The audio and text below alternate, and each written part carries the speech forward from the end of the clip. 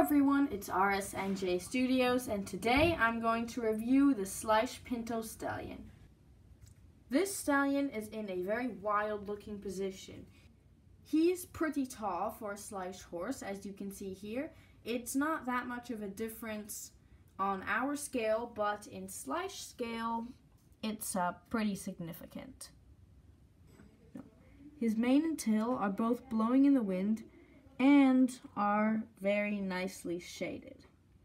You can see his mane is super long and pretty crazy, and it makes it kind of um, tough to put a rider on him because the mane is in the way. He has nice blue eyes. I like them better than just the plain black of most Schleich horses. His face looks pretty good, but I think it could be a, a bit more detailed.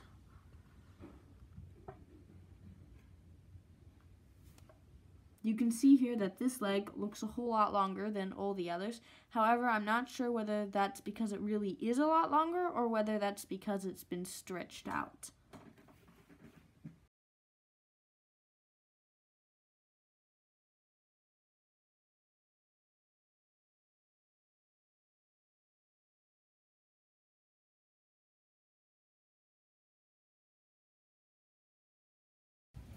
He is some kind of chestnut pinto. I think the contrast of the white and the red looks really good. And even his hooves are colored very nicely. This is definitely one of my favorite stallions. My favorite thing about him is definitely his wild pose. I like his wild mane and tail as well, even though the mane does get in the way of a rider. I think his color looks great and also the shading in his mane and his blue eyes. I really do not have any dislikes. There are only two things that I think they could have done better. I think they could have made the face more detailed. The proportions just look a little bit off. And I think that his leg should have been made shorter.